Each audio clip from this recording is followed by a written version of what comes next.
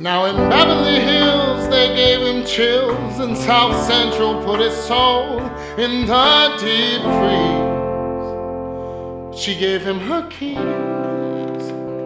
You know those LA ladies in the Mercedes, they lock their doors if he just sneezed. Now he's like, bitch, please. She gave me her keys. He said the kind of place I wanna be is where no one's cold or scared of me. And then she handed him these